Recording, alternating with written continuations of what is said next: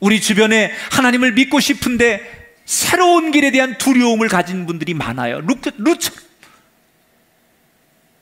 낯설고 두려워서 하나님을 믿고 싶지만 교회 문턱을 넘고 누군가가 손을 잡아서 인도해 주지 않으면 갈 수 없는 가고는 싶은데 낯설고 두렵고 불안해서 하나님 앞에 나오지 못하는 룻들이 너무 많아요.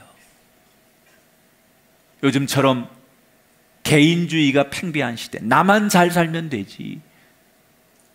그래서 저마다 다 문을 닫고 남에 대한 배려, 남에 대한 관심, 남에 대한 이야기는 전혀 듣지 않는 이 각박한 세상에 그래서 자신들의 마음을 두지 못하고 오늘도 불안하고 잠 못 이루는 룻들이 우리 주변에 얼마나 많은지 몰라요.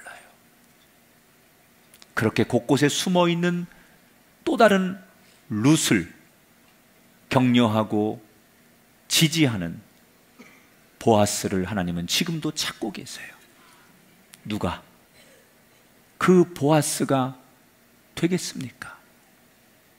하나님이 찾으시는 보아스는 도대체 어디 있습니까? 그들에게 주님의 마음으로 다가설 수 있는 보아스가 되기를 축복합니다.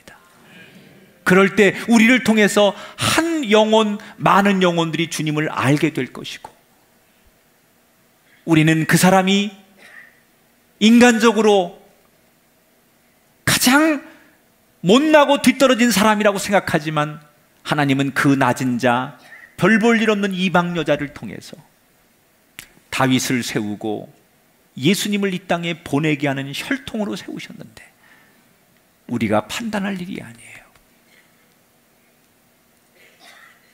여러분,